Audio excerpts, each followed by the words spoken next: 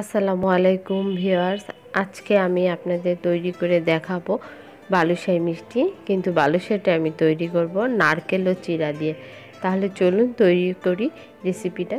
আমি এখন এখানে একটি সার্ভিং বোল নিয়ে নেব। এর ভিতরে আমি এখানে দু কাপ পরিমাণ চিরা নিয়েছি। চিরাগুলোকে হালকা কুসুম গরম পানি দিয়ে ছ থেকে সাতবার খুব ভালো করে ধুয়ে পানি ঝরিয়ে নিয়েছি এবং চিরাগুলো থেকে একটু চেপে চেপে পানি বের করে ফেলে দিয়েছি। তো চিরাগুলো যদি ভিতরে খুব বেশি পানি থাকলে আমাদের ডোটা বেশ নরম হয়ে যাবে। এখন আমি এখানে এক কাপ পরিমাণ নারকেল দিব, যেহেতু দু কাপ পরিমাণ চিরা দিয়েছি এই জন্য এক কাপ পরিমাণ নারকেল কুড়ানো দিয়ে দিব।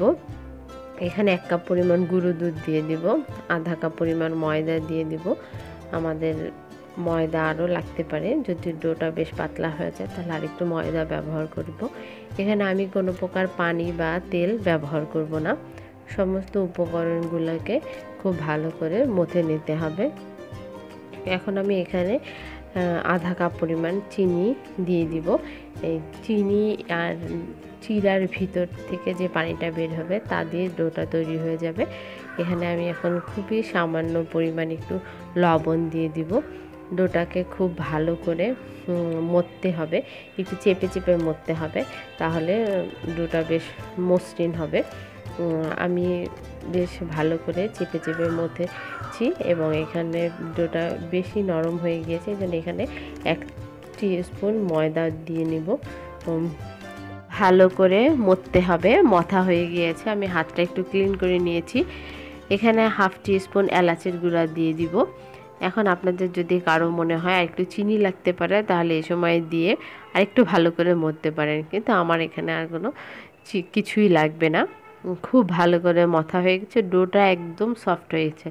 আমি এখন এগুলো দিয়ে মিষ্টি তৈরি করব। মিষ্টি তৈরি করার সময় আমি হাতের তালুতে একটুখানি ঘি নিয়ে নিব। আপনারা চাইলে এখানে তেলও ব্যবহার করতে পারেন। ঘি যে ব্যবহার করতে হবে এমন কোনো কথা নাই।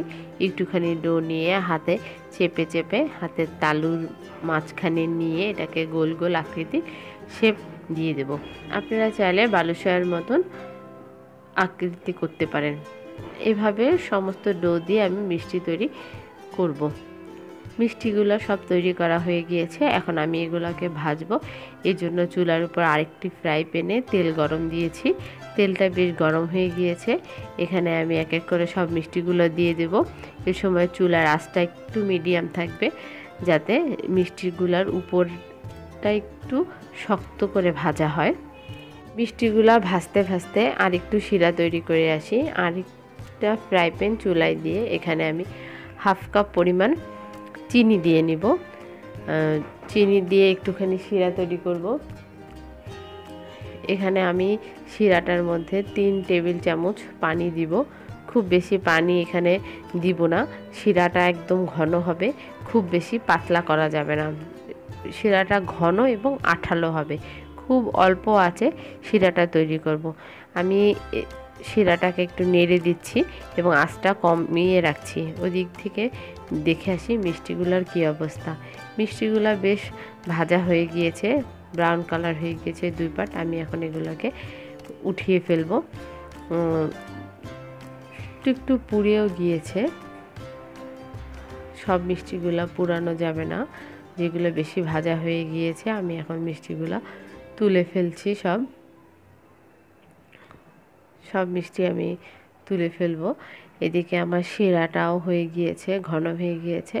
এখন আমি এর ভিতরে সমস্ত মিষ্টিগুলো দিয়ে জাস্ট এক মিনিটের মতন রেখে নাড়াচাড়া করে সমস্ত মিষ্টিগুলো তুলে ফেলব। আমি এখন এখানে সমস্ত মিষ্টিগুলো দিয়ে দিচ্ছি। মিষ্টিগুলো গরমই থাকবে, এগুলাকে কোনোভাবে ঠান্ডা করা যাবে না। গরম গরম অবস্থাতে আমি হলো সমস্ত মিষ্টিগুলো শিরার ভিতরে দিয়ে দিব। দিয়ে শিরাটা বেশ ঘন, কোনো পাতলা কোনো শিরা তৈরি করি নি আমি। যেহেতু মিষ্টির সাথে আমি আগেই মিষ্টি এর ভিতরে চিনি দিয়েছি, এর জন্য কোনো পাতলা শিরা তৈরি করা দরকার নেই। জাস্ট হলো মিষ্টিটার উপরে একটা সাদা চিনির ইয়ে পোলে পড়বে। এই কারণে আমি শিরাটাকে বেশ ঘন করে মিষ্টিগুলো ওর ভিতরে দিয়ে নেড়ে চেড়ে তুলে ফেলব। শিরার ভিতরে এক মিনিটের জন্য মতো রাখা হয়ে গিয়েছে। এখন এগুলো এক এক করে সব তুলে ফেলব। তৈরি হয়ে গেল আমার নারকেল চিলার বালুশাই।